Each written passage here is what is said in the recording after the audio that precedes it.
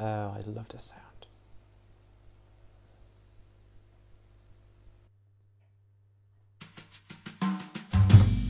So, hello there, my name is Mike. It's just a quick video in which I would like to say goodbye to my old oscilloscope, the DT516A, a dual channel, fully analog, 25 megahertz oscilloscope. I learned everything using this piece of shit. no, I love it. As you can see, this is a goodbye video because what the hell. So, hope you enjoyed it and stay tuned.